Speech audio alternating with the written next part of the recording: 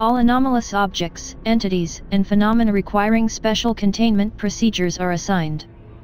An object class for purposes of research priority, budgeting, and other considerations. The class assigned to an object is generally determined by a number of factors, but most importantly, by a combination of its difficulty to contain as well as the danger posed to Foundation personnel and humanity at large. A particular anomaly's classification is subject to update and modification as research, and our understanding of the object, entity, or phenomenon improves. Primary classes These are the most common object classes assigned to anomalies, and make up the bulk of the Foundation's database. Class objects are those anomalies that are either sufficiently understood that they are now completely and reliably contained on a permanent basis or otherwise do not trigger their anomalous effects unless intentionally activated.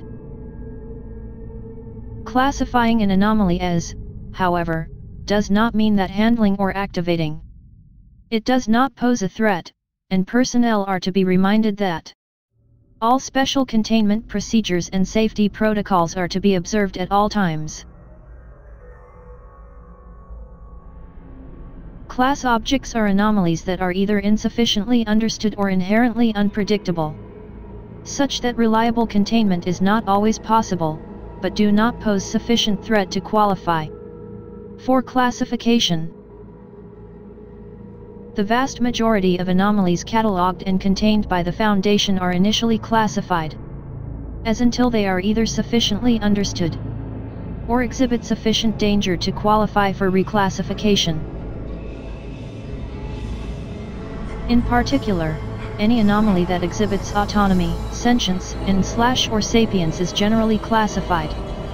A class entity at minimum, due to the inherent unpredictability of an object that can act or think on its own. Class objects are anomalies that pose an inherently serious threat to the safety of Foundation personnel and the rest of mankind and either require extensive and complex procedures to contain or cannot be fully contained by the Foundation's current technology and knowledge.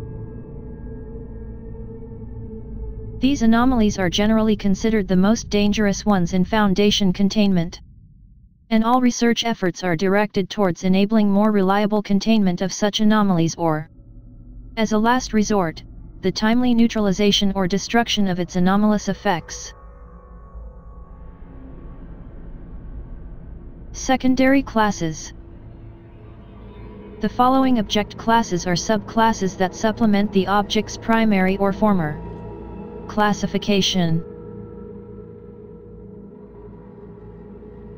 Anomalies are those that are no longer anomalous, either through having been intentionally or accidentally destroyed, disabled, or otherwise no longer function or exhibit anomalous effects.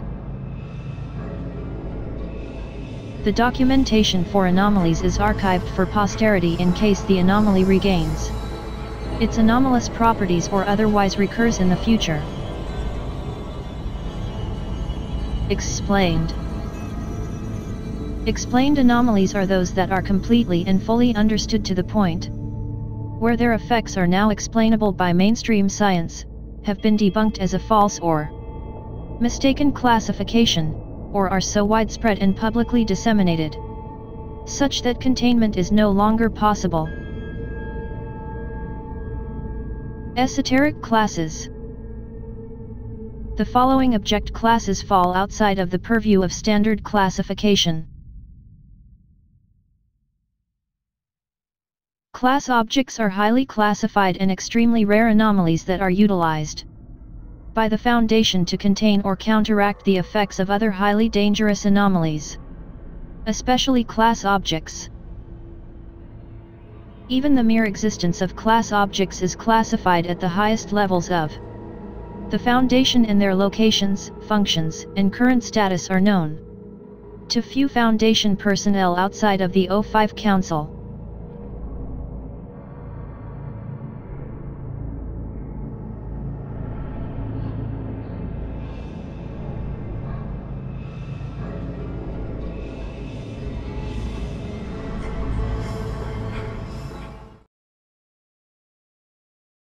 ご視聴ありがとうございました。また見に来てくださいね。ぜひチャンネル登録またはお気に入り登録をお願いしますです。んですんですん。